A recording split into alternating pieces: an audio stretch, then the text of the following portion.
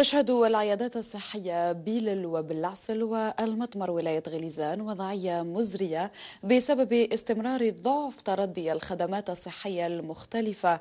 وضعية جعلت من المواطنين يعبرون عن كامل استيائهم. حمزة زرقي والنجمة بوكرش يوميات صعبة يقضيها المرضى على مستوى المؤسسة العمومية للصحة الجوارية بيلل بولاية غليزان.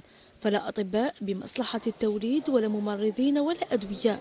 والخلاصة مؤسسة مهترئة تعيش حالة من الإهمال واللامبالاة نجيو 10 كيلو من المطمر اللي هنا ليل باه نجيبوا المرضى تاعنا عندنا مستشفى ما فيه راديو ما فيه طيارات آه كل كل الوسائل الطبية ناقصة عندنا. عندي المرأة كانت enceinte dossier تاع l'accouchement normal كاين. كلش كاين dossier normal عندها زيادة نورمال لا سيزاريان لا هنا ما كانت ساشفام ديجا وحدها.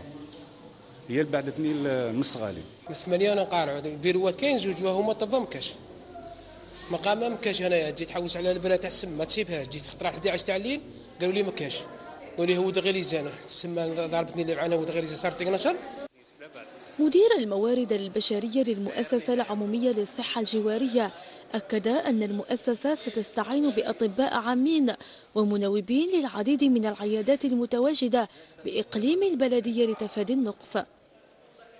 المؤسسة الاستشفائية العمومية تاع خليزان ولا مازونة ولا ودرهي وهذه المؤسسات اللي عندنا في الولاية هنا كي تكون فيهم لازم واحدة فيهم تكون تكون وين يكون طبيب منوب طبيب مختص في امراض النساء والتوليد. أنا نديروا تحويل لهذه المؤسسات. الصحة بيلا ليس استثناء في ظل النقائص الكبيرة التي يسجلها قطاع الصحة بالجزائر والذي يحتاج لإصلاحات جذرية وإعادة النظر في سياسات فعالة لتسيير هذا القطاع المريض.